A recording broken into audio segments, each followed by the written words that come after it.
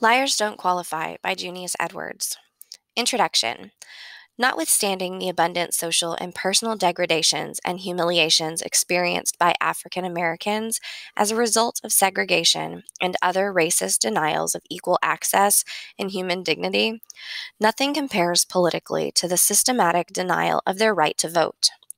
The 15th Amendment to the Constitution, ratified in 1870, established that the right of citizens of the United States to vote shall not be denied or abridged by the United States or by any state on account of race, color, or previous condition of servitude.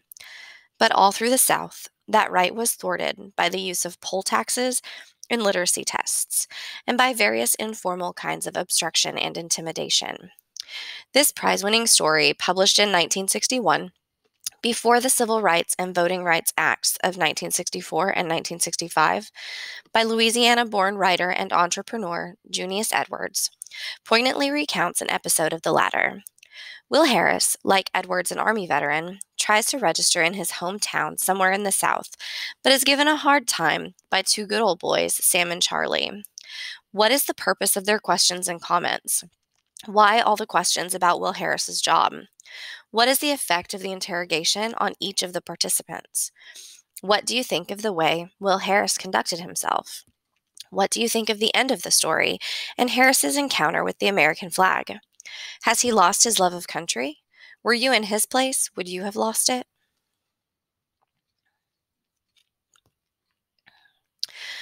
Will Harris sat on the bench in the waiting room for another hour. His pride was not the only thing that hurt. He wanted them to call him in and get him registered so he could get out of there. Twice, he started to go into the inner office and tell them, but he thought better of it. He had counted 96 cigarette butts on the floor when a fat man came out of the office and spoke to him. What do you want, boy? Will Harris got to his feet. I came to register. Oh, you did, did you? Yes, sir. The fat man stared at Will for a second, then turned his back to him. As he turned his back, he said, Come on in here. Will went in. It was a little office and dirty, but not so dirty as the waiting room. There were no cigarette butts on the floor here. Instead, there was paper. They looked like candy wrappers to Will. There were two desks jammed in there, and a bony little man sat on one of them, his head down, his fingers fumbling with some papers. The fat man went around the empty desk and pulled up a chair. The bony man did not look up. Will stood in front of the empty desk and watched the fat man sit down behind it. The fat man swung his chair around until he faced the little man. Charlie, he said. Yeah, Sam, Charlie said, not looking up from his work. Charlie, this boy here says he came to register. You sure? You sure that's what he said, Sam? Still not looking up. You sure? You better ask him again, Sam. All right, Charlie. All right. I'll ask him again, the fat man said. He looked up at Will. Boy, what you come here for? I came to register. The fat man stared up at him. He didn't say anything. He just stared, his lips a thin line, his eyes wide open. His left hand searched behind him and came up with a handkerchief. He raised his left arm and mopped his face with the handkerchief, his eyes still on Will. The odor from under his sweat soaked arm made Will step back. Will held his breath until the fat man finished mopping his face. The fat man put his handkerchief away. He pulled a desk drawer open, and then he took his eyes off Will. He reached in the desk drawer and took out a bar of candy. He took the wrapper off the candy and threw the wrapper on the floor at Will's feet. He looked at Will and ate the candy. Will stood there and tried to keep his face straight. He kept telling himself, I'll take anything, I'll take anything to get it done. The fat man kept his eyes on Will and finished the candy. He took out his handkerchief and wiped his mouth. He grinned, then put his handkerchief away. Charlie, the fat man turned to the little man. Yeah, Sam? He says he come to register. Sam, are you sure? Pretty sure, Charlie. Well, explain to him what it's about. The bony man still had not looked up. All right, Charlie. Sam said and looked up at Will. Boy, when folks come here, they intend to vote, so they register first. That's what I want to do, Will said. What's that? Say that again? That's what I want to do register and vote. The fat man turned his head to the bony man. Charlie. Yeah, Sam. He says, Charlie, this boy says he wants to register and vote. The bony man looked up from his desk for the first time. He looked at Sam, then both of them looked at Will. Will looked from one of them to the other, one to the other. It was hot, and he wanted to sit down. Anything. I'll take anything. The man called Charlie turned back to his work, and Sam swung his chair around until he faced Will. You got a job? he said. Yes, sir. Boy, you know what you're doing? Yes, sir. All right, Sam said. All right.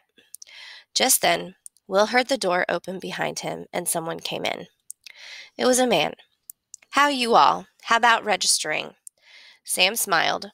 Charlie looked up and smiled. Take care of you right away, Sam said, and then to Will, Boy, wait outside. As Will went out, he heard Sam's voice. Take a seat, please. Take a seat. Have you fixed up in a little bit. Now, what's your name? Thanks, the man said, and Will heard the scrape of a chair. Will closed the door and went back to his bench. Anything, anything, anything. I'll take it all. Pretty soon, the man came out smiling. Sam came out behind him and he called Will and told him to come in.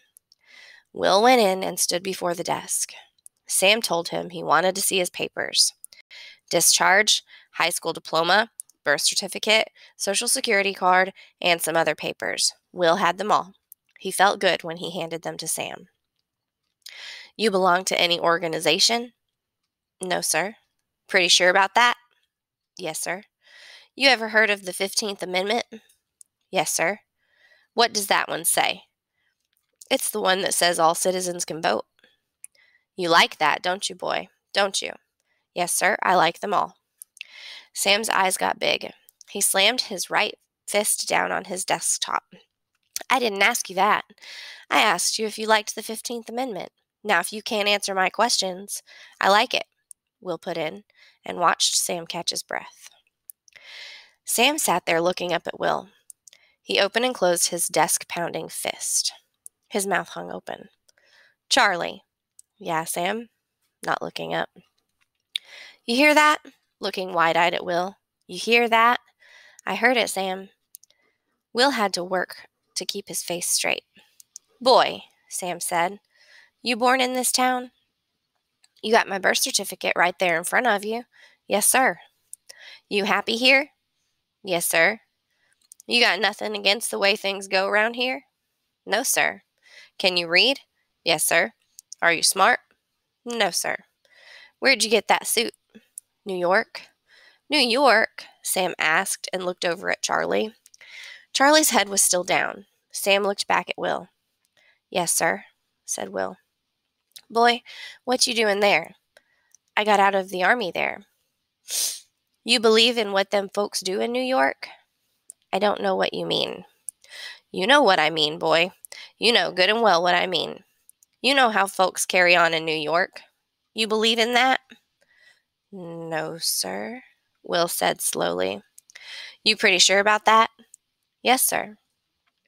What year did they make the 15th Amendment? 1870, said Will. Name a signer of the Declaration of Independence who became president. John Adams. Boy, what did you say? Sam's eyes were wide again. Will thought for a second. Then he said, John Adams. Sam's eyes got wider. He looked to Charlie and spoke to a bowed head. Now too much is too much. Then he turned back to Will. He didn't say anything to Will. He narrowed his eyes first, then spoke. Did you say just John Adams?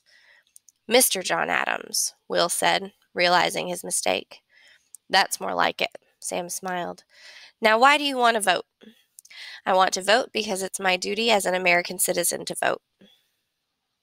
Ha, Sam said, real loud. Huh, again, and pushed back from his desk and turned to the bony man. Charlie. Yeah, Sam. Hear that? I heard, Sam. Sam leaned back in his chair, keeping his eyes on Charlie. He locked his hands across his round stomach and sat there. Charlie. Yeah, Sam. Think you and Elnora be coming over tonight? I don't know, Sam, said the bony man, not looking up. You know Elnora. Well, you're welcome if you can. Don't know, Sam. You ought to if you can. Drop in if you can. Come on over and we'll split a corn whiskey. The bony man looked up. Now that's different, Sam. Thought it would be. Can't turn down corn if it's good. You know my corn. Sure do. I'll drag Elnora. I'll drag her by the hair if I have to. The bony man went back to work.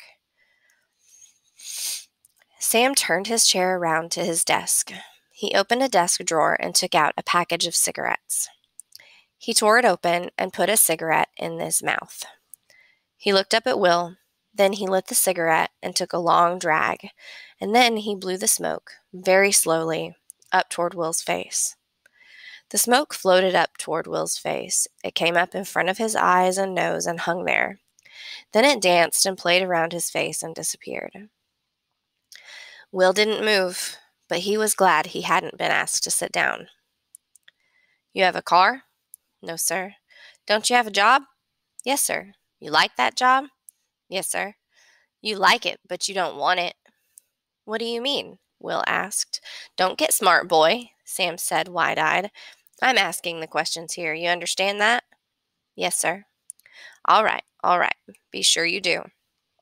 I understand it. You a communist? No, sir. What party do you want to vote for? I don't go by parties. I'd read about the men and vote, excuse me, I'd read about the men and vote for a man, not a party. Ha, Sam said, and looked over at Charlie's bowed head. Ha, he said again, and turned back to Will. Boy, you pretty sure you can read? Yes, sir. All right, all right. We'll see about that. Sam took a book out of his desk and flipped some pages. He gave the book to Will. Read that loud, he said. Yes, sir, Will said and began. When in the course of human events it becomes necessary for one people to dissolve the political bands which have connected them with another, and to assume among the powers of the earth the separate and equal station to which the laws of nature and of nature's God entitle them. A decent respect to the opinions of mankind requires that they should declare the causes which impel them to the separation. Will cleared his throat and read on. He tried to be distinct with each syllable. He didn't need the book. He could have recited the whole thing without the book. We hold these truths to be self evident that all men are created equal, that they. Wait a minute, boy, Sam said. Wait a minute. You believe that? You believe that about created equal? Yes, sir, Will said, knowing that was the wrong answer. You really believe that? Yes, sir. Will couldn't make himself say the answer Sam wanted to hear. Sam stuck out his right hand, and Will put the book in it. Then Sam turned to the other man. Charlie. Yeah, Sam? Charlie, did you hear that? What was it, Sam? This boy here, Charlie. He says he really believes it. Believes what, Sam? What are you talking about?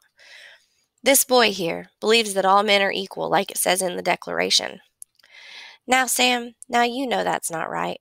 You know good and well that's not right. You heard him wrong. Ask him, ask him again, Sam. Ask him again, will you?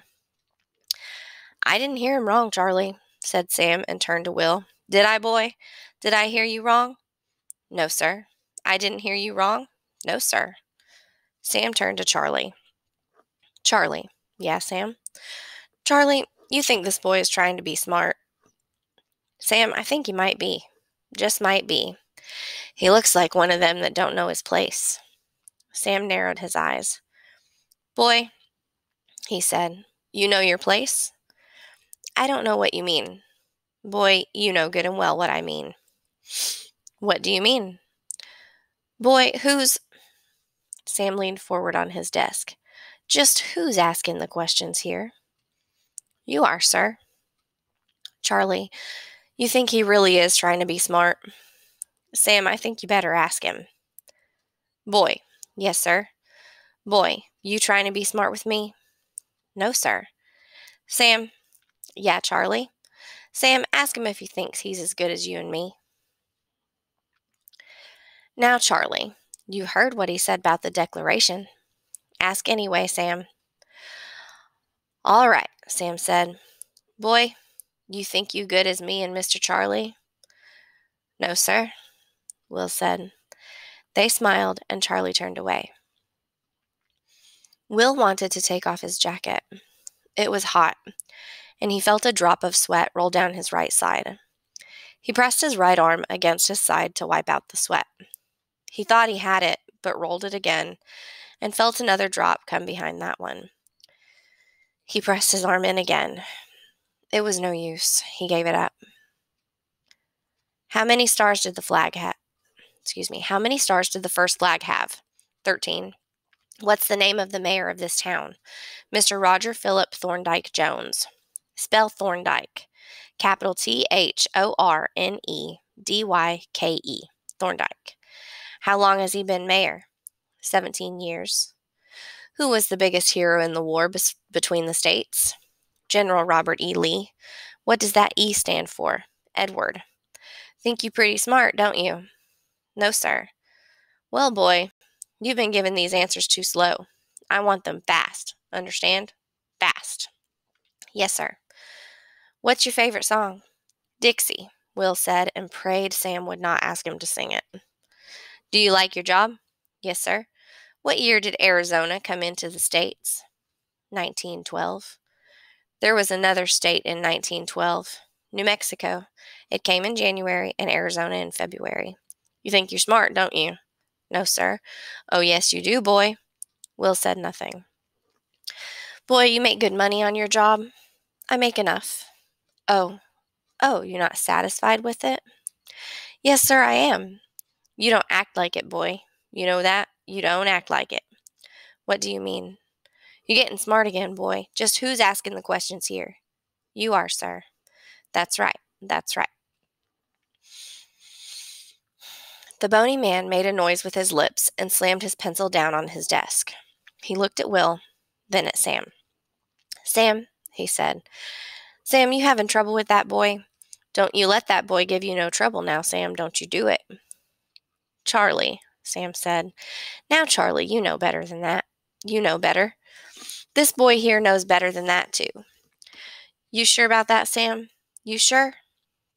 I better be sure if this boy here knows what's good for him. Does he know, Sam? Do you know, boy? Sam asked Will. Yes, sir. Charlie turned back to his work. Boy, you sure you're not a member of any organization? Yes, sir, I'm sure.